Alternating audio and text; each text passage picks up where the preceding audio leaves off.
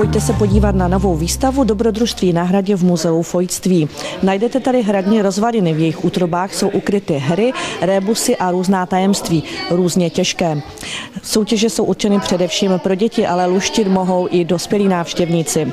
Expozici hradu tvoří hradní zdi s cimbuřím, s věží a studnou, v níž jsou umístěna zákoutí pro jednotlivé úkoly a hlavolamy. Do katalogu si návštěvníci zapisují správná řešení nebo si za splněný úkol dávají razítko. Tato interaktivní výstava je ve své podstatě škola hrou k procvičení logického uvažování, postřehu, trpělivosti a kombinační schopností.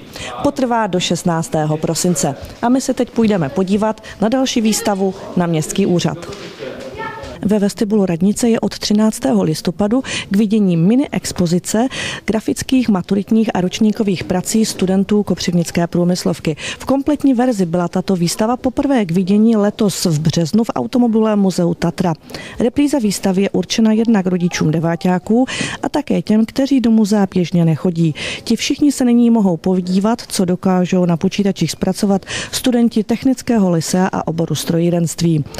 Pokračujeme v klubu Kamarád.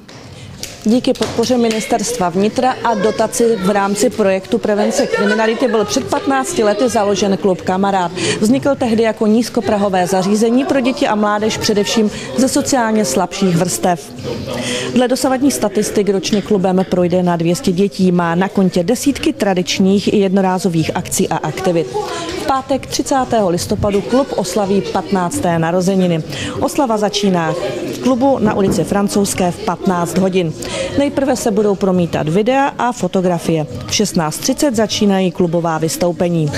V rámci výročí jsou zváni jak klienti, tak rodiče, také široká veřejnost a hlavně dobrovolníci, kteří se vystřídali během 15 let a pomáhali s provozem klubu.